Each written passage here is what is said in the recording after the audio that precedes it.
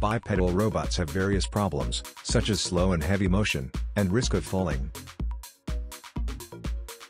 We present Aerial Biped, a biped robot using a quadrotor.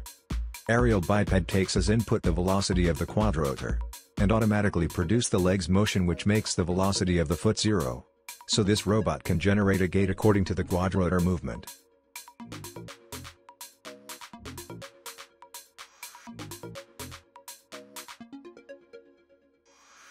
The reward function is designed to give a better reward, as the velocity of the foot in contact with the ground is closer to zero, and learning of the leg's motion is executed under the condition that the body velocity changes randomly.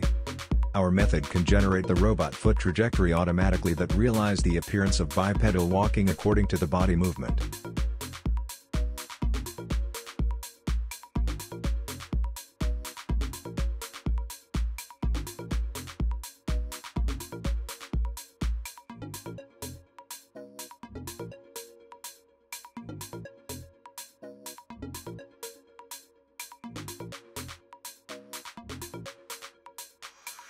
The velocity of the quadrotor is estimated by the motion capture data, and the input of the servo motors of each joint is generated using the optimized control policy.